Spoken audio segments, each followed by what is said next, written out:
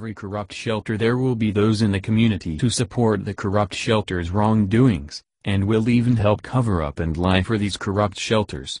In Indiana, a friend of a shelter employee who killed a dog went on the news to say people should keep their business to their business. Worker Ashley Chastain accused of illegal ear cropping on dogs the east side of Indianapolis. 24-hour News 18 Win is live in the newsroom with more on what Chastain's friends are saying about all of these allegations. A reaction all new at 11. V.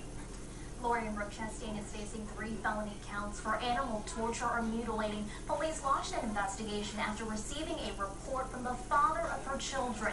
Now her best friend tonight telling me the allegations are not true.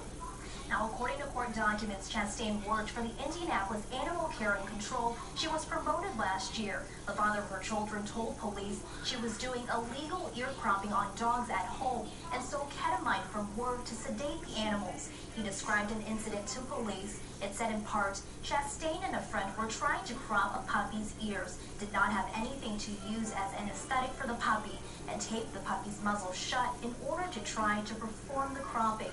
Going on to say, quote, during that time the muzzle was taped shut, the puppy aspirated its own vomit, suffocated, and died. Documents stated she buried the puppy in the backyard. Her best friend told 24 Hour News 8 she's not that kind of person. Ashley has the biggest heart that like I've ever known in my life. Like I'd be, you know, she's done so much for me, and I love her like a sister, and you know, I just think people should keep their business to their business. I just Did you hear that? keep their business to their business. I just think people should keep their business to their business. I just think people should keep their business to their business. That is the mentality that the people who support corrupt shelters have. So just because there are members of the community who support a shelter doesn't mean it isn't corrupt. It just means there are some people who are okay with what is happening.